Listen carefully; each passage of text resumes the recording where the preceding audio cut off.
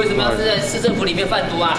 面对镜头沉默不语，低着头快步上车。刘姓女子平时任职于北市社会局，没想到却被发现，在民众洽公区域和周姓男友一起贩毒。六号晚间被移送台北地检署复讯后，检方认为两人罪嫌重大，但实证清楚，没有羁押必要，双方各以二十万元交保。社会局科员遭警方查出，不止涉嫌贩毒，就连男友住处也藏毒。夸张的是，交易毒品的地点还选在市府大门口。相当大胆，专案小组拂晓初级，在两人住处搜出大麻以及疑似吸食器质，当场人赃俱获，将人带回法办。而整体事件会曝光，就是因为警方发现有人在网络上买到大麻，对方供称交易地点竟然是在台北市府大门口。根据了解，社会局这名三十多岁斗姓科员，平时服务于老人福利科，属于内勤行政单位，不会特别外出接触民众，但却因为交易毒品，频频外出洽工，反倒。引起警方怀疑。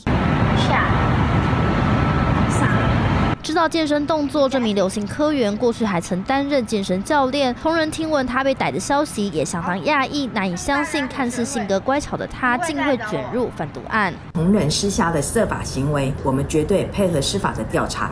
市府的立场一向清楚一致，一定勿往勿纵，也会移送公务人员惩戒委员会进行相关处置。相关单位立刻亲上火线说明，监禁除了讯问嫌疑人，也不排除有共犯协助，将持续向上溯源。近新闻综合报道，立刻下载近新闻 App，一手掌握新闻时事，尽善尽美，尽好新闻。